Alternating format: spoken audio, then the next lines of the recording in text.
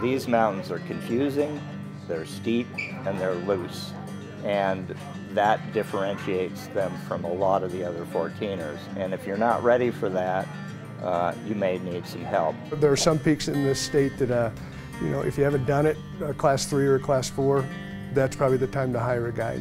I would say if you're coming to town from far away and you, you don't have a community to access with uh, other available partners, consider hiring a guide. Why wouldn't you want to go with someone who actually works up there on the route for a living? Um, they know how to do it and they do it safely. I think that here in the U.S., we have a big do-it-yourself mentality and people don't seek instruction as much as they do elsewhere, say in Europe.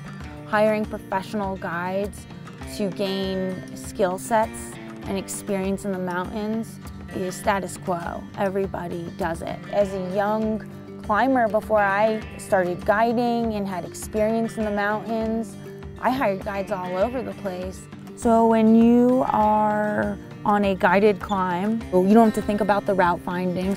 We always take the safest lines. We're extremely dialed in mountain weather and the way that the systems work here in the mountains. Some folks would like to be tied into a rope the entire route, and other folks would like to just be shown the correct route and be left a little more to their own. Uh, there's no hard, fast rule on, on how you would be handled by a guide, but you could look at it as a, as a learning experience where they could show you technique and safety and all their tricks along the way while also getting you to the summit, hopefully in a safe way. A lot of the clients that we get are people who have climbed all of the 14ers except in the Elk Mountains and we usually finish their 54 14ers here in the Elk Mountains with them. It's still hard work and if you're a curious client, they're going to share with you how they made their did their decision making and give you the beginnings of the skills you need to do that kind of stuff on your own. I think that hiring a guide